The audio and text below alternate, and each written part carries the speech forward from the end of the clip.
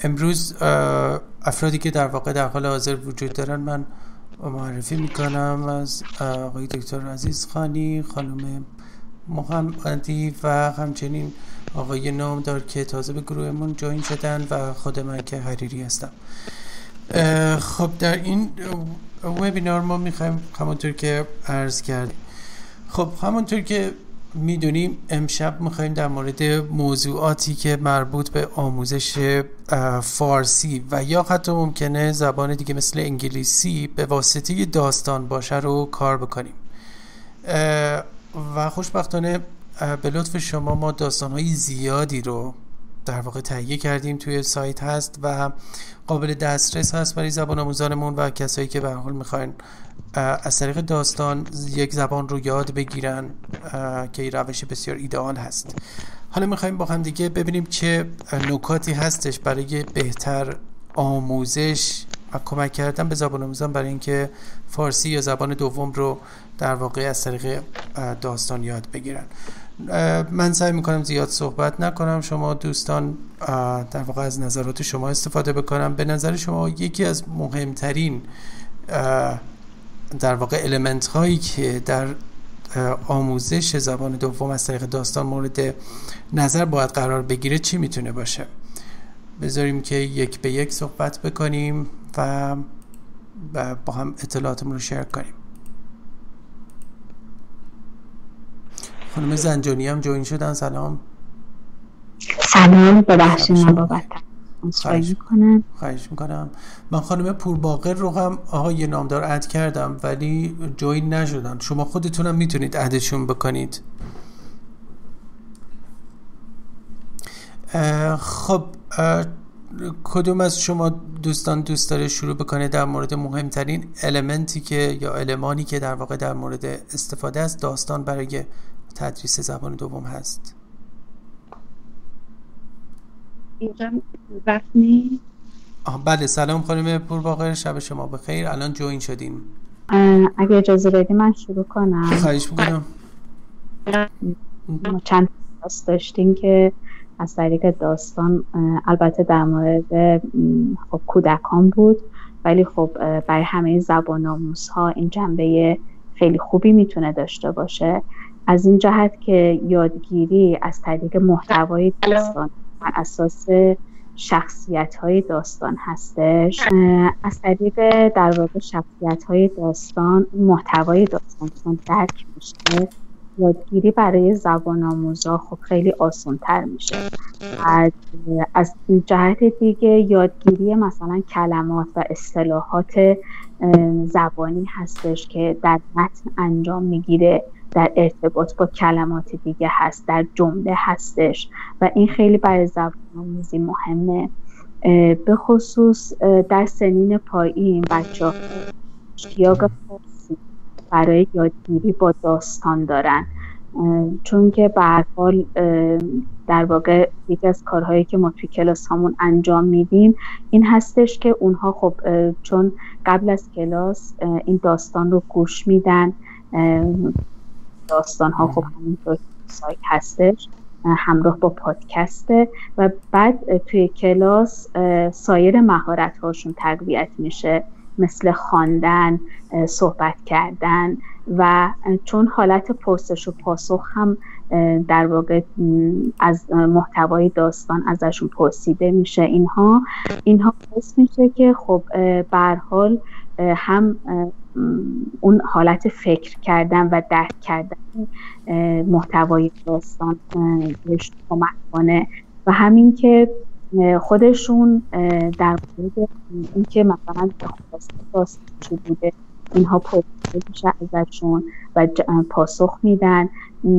این باعث میشه که خب صحبت کردنشون تربیت بشه. خواندن هم اگر اجازه بدیم که یکی یکی بریم جلو یعنی در واقع اینجوری بهتر به نظر من هست. یعنی ما باز برمیگردیم به شما. و همچنین خیلی متشکر از به توضیحاتتون. برای characterization و شخصیت پردازی که خود یک زبان آموز در واقع با اون شخصیت های داستان برقرار می‌کنه خیلی می‌تونه توی فهم داستان و گیرایی داستان به ما کمک بکنه. و از اونجایی که به ما تا 11 بیشتر وقت نداریم دوستان من خودم هم زیاد صحبت نکنم. یک به یک element به یک element در واقع پیش بریم. و پس حالا اینجا تفاوتی بین fables fictions و non-fictions که در واقع fable داستان هایی هستش که شخصیتاش حیوان هستند یعنی جانوران هستند و fiction کلا به داستانی گفته میشه که واقعی نیست و non-fiction به داستانی که واقعیت می‌تونه realistic باشه.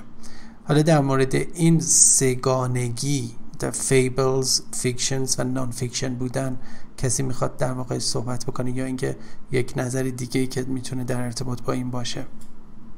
خب در مورد fiction fable و non-fiction stories اینا اصطلاحاتی هستند که من به انگلیسی میگم به خاطر اینکه technical terms هستند و ترمینالوژی این موضوع ما هستند. کسی می‌خواد صحبت بکنه ما دعوت نمی‌کنیم. هر کس می‌خواد هر کس. به حال این می‌تونه یه تبلیغی برای کار شما هم باشه دیگه. نشون بدیم که در این زمینه آگاهی و تجربه کافی داریم. دکتر اگه اجازه بدید من یه این بحثش اینه که ایجاد تصویرسازی برای دانش آموز یه بحثی که داره خب شخصیت پردازی براش باید بکنیم و این تصاویر رو در ذهنش ایجاد بکنیم. دو تا پیش نیاز باید داشته باشه اون دانش آموز. یکیش اینه که یه سطحی از اون زبان رو باید داشته باشی که بتونی اون مقدمات کار و اون شخصیت ها رو براش معرفی بکنی. یعنی برای کسایی که خیلی مبتدی هستن شاید نشه این کار رو بکنیم. و یکی دیگه هم زمان می‌خواد. یعنی در حال یه زمانی می‌خواد تا این عناصر داستان و این شخصیت ها رو و این محیط رو براش آشنا بکنه. یه مقدار زمان می‌گیره و این دوتا مسئلهش باید حل بشه. برای داستان استفاده از داستان در آموزش. این دو, این دو تا موضوع رو باید یه جوری یعنی متناسب باشن این دو موضوع. خیلی ممنون که موجز گفتین. حالا در ارتباط با زمان داستان از اونجایی که ما در واقع داستان ها در وبسایت هست. و زبان آموزا دسترسی دارن به مطالب. در نتیجه ما می‌تونیم این تسک رو بهشون قبل از کلاس مثلا دو روز سه روز حتی اگه به شکل هفتگی باشه حتی می‌تونیم یه هفته قبل از کلاس بهشون بگیم دسترسی داشته باشن به متن در واقع داستان ها با استفاده از اون flash card هایی که وجود داره و یا اینکه در واقع new words and expressions که واژگان جدیدی که در پایین هر داستان وجود داره و از همه مهمتر پادکستی که ما خودمون درست کردیم تیم ما درست کرده برای هر کدوم از داستان ها که هر در واقع به شکل هفتگی هم حداقل یکی دو تا داستان اضافه میشه. من خودم سعی می‌کنم داستان های انگلیسی رو از Aesop رو مخصوصا در واقع ترجمه بکنم به نثر ساده بنویسم پس در مشکل تایمیش اینکه وقت داشته باشن روش فکر بکنن به نظر من برطرف میشه از این طریق از طریق asynchronous بودن قضیه یعنی غیر همزمان بودن قضیه. و به یک پختگی خوبی می‌رسن. خب حالا تا اینجا که خیلی خوب بوده و بحث characterization بحث در واقع unlock کردن imagination و تصور خود زبان آموز مخصوصا کودکان خردسالان در واقع مطرح شده. دیگه چه نکته به نظر شما می‌تونه مفید باشه؟ خانم محمدی شما اگر ممکنه نظرتون ارائه بدید خب بله خب من فکر می‌کنم که باید بیشترین تلاشمون رو کنیم که اون داستانه براشون فضاش صحنه سازی بشه من خودم همیشه سعی می‌کنم شده از با افکت های صوتی یا با هر, هر طریقی سعی کنم اونا رو تا بچه ها رو بیارمشون تو فضای داستان.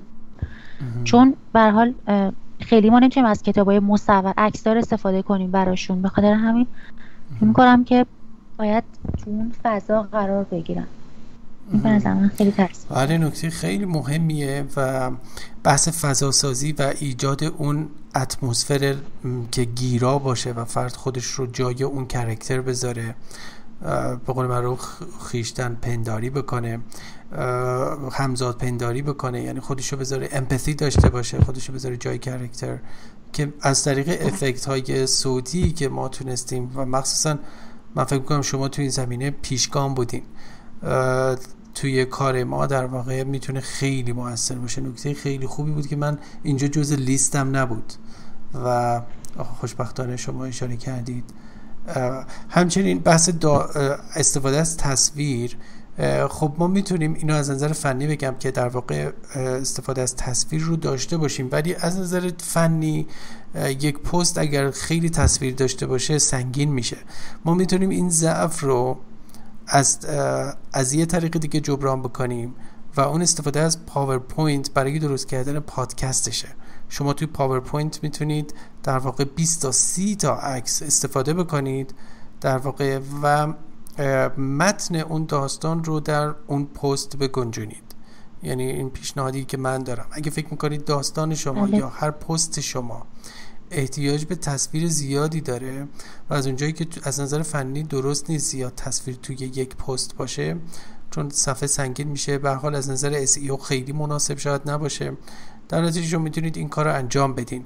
با یه تیر دو نشون زدنه. یعنی هم text ش رو می‌تونید copy paste بکنید توی پست که تولید تولید می‌کنید و هم تصویر دارید و با PowerPoint اون رو در واقع چون ما هر داستانمون احتیاج به یک پادکست visual داره در واقع.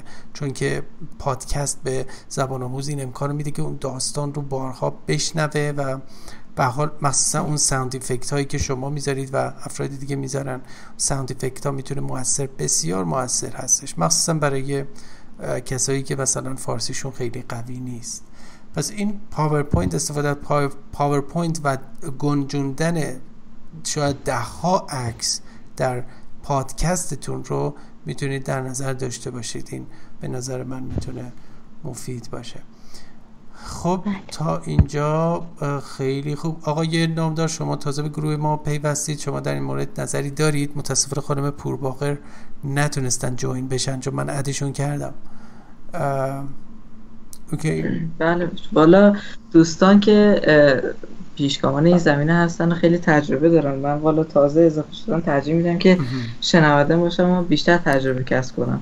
Okay. بله. چیزی که من حالا اشاره بکنم خیلی گذرا activate کردن background information هست. یعنی اینکه باید اطلاعات background background فارسیش به دقیقا چی میشه؟ background information اطلاعات پیش زمینه ای در واقع زبان آموز رو activate بکنیم فعال بکنیم از طریق داستان.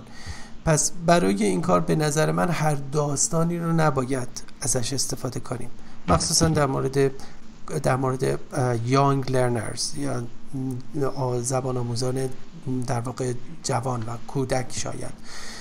هر به نظر من اونجور که من research انجام دادم و خودم هم اعتقاد دارم اینه که مثلا داستان هایی که توش مسائل قومی قبیله ای و در واقع local هست و focal نیست یعنی global نیست و local ه اونها باعث میشن که به هر حال تعصبات قومی قبیله ای برانگیخته بشه و اون حس همذات پنداری رو نداشته باشه characterization شکل نگیره. پس در نتیجه هر داستانی یا هر فری تیلزی در واقع شاید خیلی ایدئال نباشه. استفاده از فری تیلز بسیار ایدئال هست به شکل کلی نسبت به در واقع داستان. فری تیلز یعنی افسانه ها افسانه هایی که در واقع تخیلی هستند. مثل داستان های کلیله و دمنه که داستان حتی داستان های ساده شده از در واقع کتاب های معروف در واقع شاعرهای بزرگ ایرانی مثل مولانا مثل در واقع نظامی که ما نمونه هایش رو داریم و همچنین داستان های ایساپ که ما من خودم بیشتر اونها رو ترجمه کردم و به نثر نوشتم که اینها fiction هستند و fable هستند بیشتر افسانه هایی که در ارتباط با حیواناته و به نظر من گیراییش بیشتره برای برای یانگ لرنرز.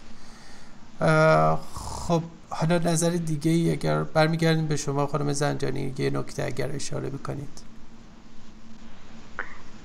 در مورد همین که شما فرمودین در واقع داستان هایی که از طریق شخصیت های مثلا حیوان و اینطور چیزها هستش بیان میشه برای بچه ها مرموز داره بعد همینطور اگه تصویر داشته باشن. چون مثلا من خودم توی تدریس هام داشتم مثلا اون داستان توتی و بازرگان رو با یکی از زبان آموزان کار کردیم. خب یه آشنایی قبلی از داستان داشت و برای همین حال اون جملات رو بخونه و کلمات جدید رو درک کنه که مثلا اون کلمات جدید معنیشون رو با وجود اینکه نمی‌دونست ولی از محتوای داستان حد زد. و یه درس دیگه هم بودش در واقع پیرمرد و نوه. اون که تصویر داشت بر حال بیشتر براش راحت تر بود قابل درک بود که شما اشاره کردیم که توی در واقع پادکست هایی که درست می‌کنیم اگه بتونیم از تصویرها توی پاورپوینت استفاده کنیم و همون جملات رو هم در واقع چون خواندن در طی کلاس انجام می‌گیره. در همون اسلاید های پاورپوینت بذاریم. این فکر می‌کنم برای سنین پایین خیلی بهتر باشه. ببخشید اگه زیاد می صحبت می‌کنم. میگه می‌خواستم بگم اینه که این داستان هایی که در حال حاضر ما داریم در واقع از سطح متوسط به بالاست و در واقع ما باید در سنی پایین هم چون در ردیه سنی پایین جملات باید کوتاه باشه و داستان ها حال بیشتر از طریق تصویر و اینکه مثلا محتوای داستان به زبان آموز گفته بشه یا بله. حالت سنی داشته باشه اینو بیشتر بچه ها دوست دارن در سنین مثلا بین 6 تا 9 ساله اینها بر ما سطح پایین رو زیاد به شکل داستانیش رو کار نکردیم. داستان هایی که داریم از سطح متوسط به بالا هستن. بله بله. خیلی متشکرم ممنون. و بله short sentence نباید خیلی از compound complex sentence استفاده بشه. وقتی که می‌خوایم اینا رو بازنویسی بکنیم چون ما کلا کارمون همش اوریجینال هست یعنی از جایی copy paste نکردیم عینا بلکه الهام می‌گیریم و بعد اون رو به زبان ساده می‌نویسیم و در واقع همونجور که خانم زنجانی گفتن ما نباید خیلی compound complex جملات پیچیده استفاده بکنیم. چون به حال بچه ها دوست دارن خیلی ساده موضوع رو یاد بگیرن و خب حالا نکته دیگه که به نظر من میاد و اگر کسی اگر یکی از شما دوستان می‌خواد در موردش صحبت کنه بحث آموزنده بودن داستانه. شما فکر می‌کنید این چقدر می‌تونه موثر باشه؟ از نظر technical terms بهش میگن didactic didactic story didactic به معنی آموزنده بودنه. didactic بودن قضیه چقدر می‌تونه مهم باشه؟ مثلا بعضی داستان ها didactic نیستن اصلا. ولی خب می‌تونه هیجان انگیز هم باشه. به نظر شما برای آموزش مخصوصا حالا فارسی به بچه های کم سن و سالتر بهتر آموزنده باشه یا نه لزوما؟ اگه کسی می‌خواد صحبت بکنه. خب من یه چیزی بگم. خواهش می‌کنم. من خودم خیلی از روش همین خوندن داستان و این چیزا استفاده می‌کنم با زبونی که خودم می‌خوام یاد بگیرم. بعد بیشتر چیزایی که نوشته شده معمولا داستانهای جنایی و اینجور چیزاست. چون آدم هی می‌خواد دنبالش کنه که ببینه چی میشه. ولی برای بچه ها بازم خیلی مهمه. چون به حال نمی‌خوایم که خیلی واسهشون چیز ترسناک یا همچین چیزی در بله، بیاد بله. براشون. ولی من فکر کنم که کلا تو همون داستان یه چیزی که اولا خیلی مهمه حتی از موضوعش هم مهمتره من اصلا گرامری که استفاده میکنیمه که ساده باشه. مثلا من داستانی که می‌بینم حتی فعلاشون همشون مزارع اخباری هم برای اینکه سادگیش حفظ بشه. بعد به غیر از اون موضوعش باید به نظرم به خود اون زبان آموزم بستگی داره که چی دوست داره خود اون شخص. ولی معمولا داستانایی که آدم جذبش بشه و اصلا یادش بره که داره این داستان رو برای یاد گرفتن زبون یاد می‌گیره. فقط داستان رو به خاطر همون داستان بخونه. بله این خیلی مهمه که به قول شما یادش بره که در واقع داره زبان یاد می‌گیره از طریق داستان. و اون چیزی که شما گفتی میشه در واقع توی داستان هایی که ما داستان درست می‌کنیم و در قالب پست میذاریمش می‌تونیم این بحث ردیگ سنیش رو هم در نظر بگیریم. یعنی مثلا برای یانگ لرنرز هست برای تینیجرز هست یا برای ادالتس هست. و این سه ردیه سنی رو می‌تونیم در واقع توی یک ساب کتگوری بذاریم و یا از طریق تگ یا کیورد اون رو مشخص بکنیم. و معمولا برای بچه ها دایدکتیک بودنش خیلی مهمه. ولی برای بزرگ سالا ممکنه حتی بورینگ باشه مثلا کسل, کسل کننده باشه. و مثلا البته بستگی به پرسنالیتی هم داره. پس این نکته رو هم حالا خوشبختانه ما داریم ریکورد می‌کنیم و احتیاج نیست من الان نوت بردارم چون بعدش حتما پراسس میشه. خب استفاده از پادکست که ما گفتیم در واقع بعد بحث گیراییش که حالا به قول شما اگه ممکنه داستان حتی ممکنه جنایی باشه برای یه ردیه سنی بزرگسال چون ما این داستان های جنایی و به حال دایدکتیک که خیلی کاراگاهی باشن و اینها رو نمی‌تونیم برای بچه ها استفاده بکنیم. خب اگر نکته هست من چندین مورد دارم. استفاده به نظر شما حتما ما باید داستان رو ساده ساده ارائه بدیم که خیلی ساده حتی مثلا خانم محمدی گفتن به شکل مزارع اخباری باشه. و یا اینکه نه یه مقدار هم پیچیده از قصد حتی یه مقدار هم ادبیش کنیم. اون کاری که من تو داستانهای خودم سعی کردم انجام بدم تا فقط و فقط بحث در واقع سرگرمی نباشه و در قالب داستان واژگان هم یاد بگیرن. شما دوستان در این مورد چه نظری دارید؟ چون می‌خوایم در واقع در این مورد اطلاعاتمون رو با هم شیر کنیم. دکتر من فکر می‌کنم که این خیلی گزینشیه یعنی بستگی به اون دانش آموز داره. شما اون داستانی رو که انتخاب می‌کنید مختص اون آدم باید باشه.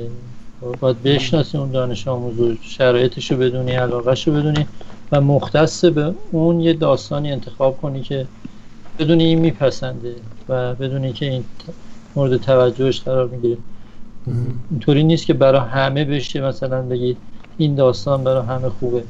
این شناختیه که آدم از دانش آموز به دست میاره در کار کردن. بعد برای اون می‌تونه یه داستان مشخصی رو انتخاب بکنه. فکر این روش بهتر باشه. خب بله صد درصد همینطوره. ولی اینکه ما در واقع می‌خوایم داستانمون رو الان ادا شور پا در واقع کرییتش کنیم اون اون پستش رو درست, کنیم. در این لحظه چه چیزی رو باید در نظر بگیریم؟ پس نباید به قول باید هر دو طرف قضیه رو در نظر بگیریم. داستان موقعی نگارشش این ویژگی رو در نظر بگیریم که ممکنه این داستان رو ما به تناسب موضوعش می‌خوایم خیلی ساده بنویسیم. اما یه داستان دیگه به تناسب موضوعش و پیچیدگی تاپیکش می‌خوایم جوری بنویسیم که احتیاج به واژگان جدید هم داشته باشه تا زبان آموز در واقع بتونه در, در کنار یادگیری داستان واژگانی هم یاد بگیره. بعد می‌تونیم مثلا مراجعه کننده ای که به ما رجوع که زبان آموز می‌تونیم بگیم خب این داستان بیشتر به نفع بیشتر برای شما سازگار هست. شما هم موافق هستین در این مورد؟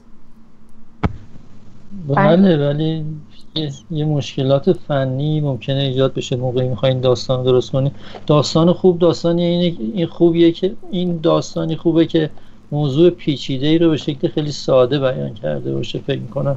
یعنی هنر ما اینه که بتونیم این موضوعات موضوعاتی که روز هستن یا موضوعاتی که مورد علاقه هستن و ممکنه پیچیده باشن به شکل خیلی ساده ای درشون بیاریم بتونیم ساده بیانشون کنیم. ولی خب یه مقداری هم ممکنه نیاز به تصویر سازی داشته باشیم نیاز به افکت های صدا داشته باشیم اینا یه مقدار کار فنی بخواد دیگه بله. خب یکی دیگه از دوستان می‌خواست چیزی بگه. من صدا رو من صدا رو شنیدم فقط.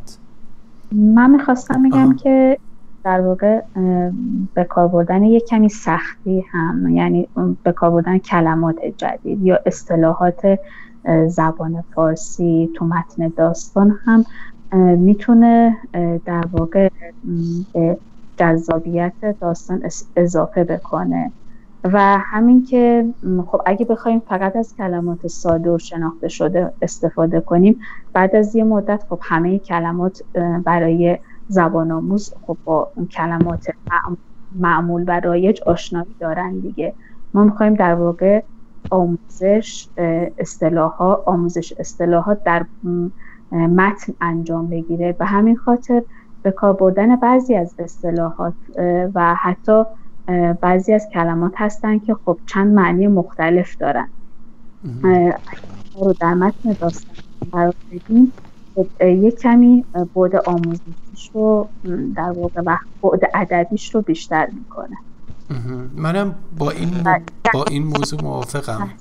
بالا خیلی بهتر هستش خب ما همیشه یه آگاهی نسبت به زبان آموزامون داریم که در چه سطحی هستن و در واقع علاقشون چی هستش و اصلا برای چی می‌خوان زبان یاد بگیرن. و بعد بر اساس این شناختی که از زبان آموزامون داریم ما بهشون پیشنهاد میدیم که مثلا کدوم داستان رو روش کار بکنه بله بله. بسیار خب همونطور که شما گفتین ما در واقع یه کالکسیون خوبی داریم که همینجوری هم نمیمونه و داره بهتر و بهتر میشه. شما می‌تونید زبان آموزانتون رو دیرکت بکنید به یعنی راهنمایی بکنید به اون کاتگوری Learn Persian with Stories که توش فکر می‌کنم تا حالا 26 تا درس داستان هستش و در واقع داره اضافه میشه. در کل من هم موافقم که یه مقدار باید زد یه مقدار یه مقدار باید challenging باشه برای زبان آموز. یعنی به قول حالا استفن دی کراشن میگه که i plus one یعنی که شما باید از level student تون یه شماره بالاتر سختی سختی رو براش قرار بدید. چون challenge می‌کنه خودش رو.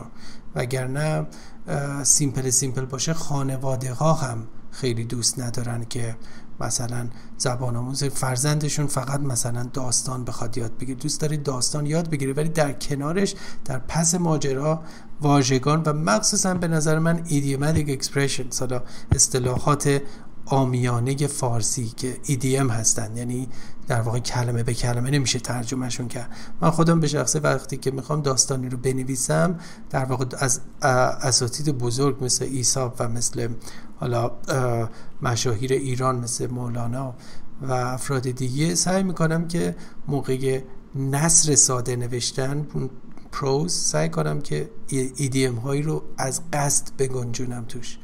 حالا این نظر من هست.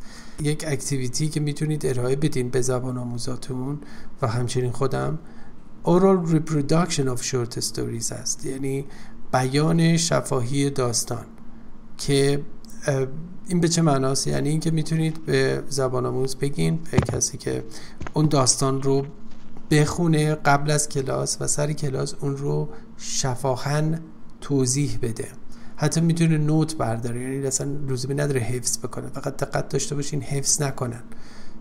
oral reproduction به نظر من خیلی می‌تونه جذاب باشه. حتی dramatizing dramatization of short stories یعنی اینکه مثل نمایش حتی می‌تونه اگر دوست داشته باشن یا حتی خود شما با یک زبان آموز زبان آموزتون می‌تونید dramatize ش بکنید یعنی مثل drama مثل تئاتر مثل یک نمایش در واقع اون رو انجام بدین که این خیلی می‌تونه جذاب بکنه و به نظر من بحث فان قضیه رو هم در واقع در نظر گرفته میشه. خب اگر نکته ای هستش من زیاد صحبت کردم. اگر عزیز از عزیزان می‌خوان صحبتی نکته جدیدی رای بدن. کنم این پرسش که ما در پایان درس داریم. در پایان هر درس داریم. اینها هم خیلی می‌تونه اگه مثلا تعداد این پرسش ها رو هم یکم بیشتر کنیم. چون مثلا مثلا سه تا پرسش اینا هستش.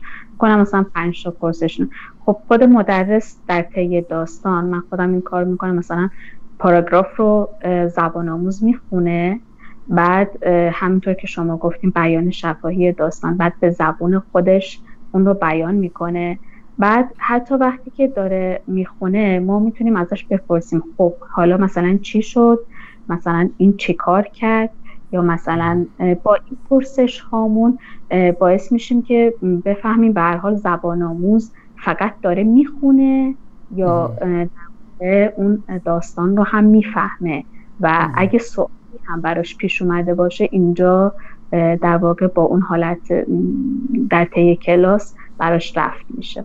بله بله. نکته خیلی مهمی بود. خیلی ممنون. استفاده از پرسش های زیاد. می‌تونیم از بله جا خالی دادن. مثلا اون جمله هایی که توی در واقع داستان هستش. بگیم مثلا بعد یه کلمه ای رو خالی بگیم بعد بذاریم که یعنی منظورم این هستش که این فکر در واقع زبان آموز در طی کلاس فعال باشه. خودش داستان رو بفهمه و از زبان خودش استفاده کنه برای بیان داستان بیان شفاهی داستان و همینطور ببینیم اون کلمات رو واقعا یاد گرفته. چون منظور ما فقط گفتن داستان نیستش که درست میخواییم از این حالت فانش برای یادگیری استفاده کنیم ولی اون جنبه اصلی که ما در نظر داریم آموزش زبان هستش. پس بله. باید ببینیم که این کلمات این اصطلاحات و این چیزهای جدیدی که هستش یاد گرفته میشه فقط با پرسش و پاسخ به کلاس می‌تونیم این کار رو انجام بدیم. بله خیلی ممنون از شما. بله درسته. بهتری که تعداد پرسش ها رو بیشتر بکنیم. ما معمولا همونطور که گفتین دو یا سه تاست ولی می‌تونه تا پنج تا باشه از پرسش هایی مثل اگه شما جای مثلا اون کرکتر بودید چه کار می‌کردید؟ این خیلی برای زبان آموز برای مخصوصا زبان آموزان کم سن و سال جالب هست. چون که باعث میشه داستان رو بیشتر دنبال بکنن و اگه شما این خیلی در واقع ودیف به قول معروف اصطلاح میگم what if questions. یا if you were in that position اگه شما جای در واقع کرکتر بودی چی کار می‌کردین این خودش خیلی می‌تونه ایدئال باشه. یکی از پرسش ها من خودم سعی کردم از این به بعد همیشه این اینو مثلا اواخر یکی از پرسش های در واقع تغییر ناپذیر باشه. ولی خب بله حق با شما از پنج تا به نظر من ایدئاله. مطالعه دو یا سه تا گذاشتیم پرسش. خب اگر نکته ای هست خب من یه بار برای اینکه این رو فیلم می‌گیرم از داستان ها با اجازه شما میرم توی کتگوری در واقع Learn Persian with Stories که تا 26 تاست و اینها رو به شکل خلاصه می‌خونم که در واقع افراد و کسایی که این ویدیو رو می‌بینن با داستان هایی که ما تا حالا درست کردیم و هرگز به اینجا ختم نمیشه آشنا بشن. داستان روباه و انگور. که از ایساب هست داستان بقال و توتی که از مصنوی معنوی باید باشه داستان موش روستایی موش شهری داستان کسراگ و دهقان داستان کودک دانا. خب میرم صفحه بعد. و داستان خاربان وجود داستان مورچه ها و ملخ داستان قدر آسایش داستان سرانجام دهان بینیم داستان پاسخ زیرکانه میرم صفحه بعد. داستان قاز و تخم طلا داستان توتی و بازرگان داستان روباه و زاق داستان لاکپشت و مرغابی ها داستان خرگوش و لاکپشت. میرم صفحه چهار. داستان دوستی خال خرسه داستان اولاغ روباه و شیر که از داستان های ایساب هستن که کرکتراش بر اساس حیوان هست. و آموزش داستان با درخت خاطره شاهزاده و پری جنگل آموزش فارسی داستان ماردوش که برای بزرگسالان زخاک و در واقع مارها و کاوه آهنگر میرم صفحه پنج. آموزش فارسی داستان زخاک یک داستان دیگرش. آموزش فارسی داستان مرداس اینم از داستان زخاک آموزش فارسی با مثال ها و به حال روش های افزایش رشد خلا... خلاقیت در کودکان و غیره. خب همونطور که ببینید که داستان هایی که خیلی زیبا و جذابی هستن که مسلما باعث میشه آموزش فارسی بهتر و زیباتر انجام بشه.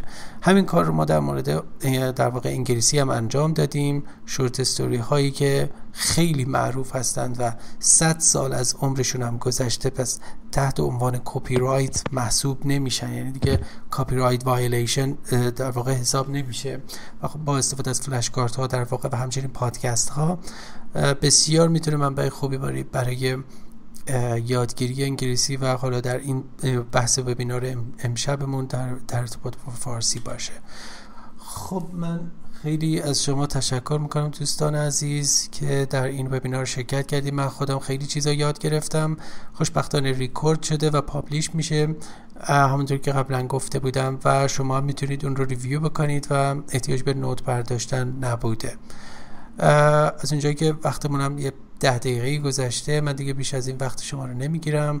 از شما خیلی متشکرم و تا هفته بعد و یک موضوع دیگه در واقع شما رو به خدای بزرگ میسپارم و شب و روزتون خوش باشه. متشکرم از شما. زنده باشین. خدا نگهدار همه شما. خدا حافظ.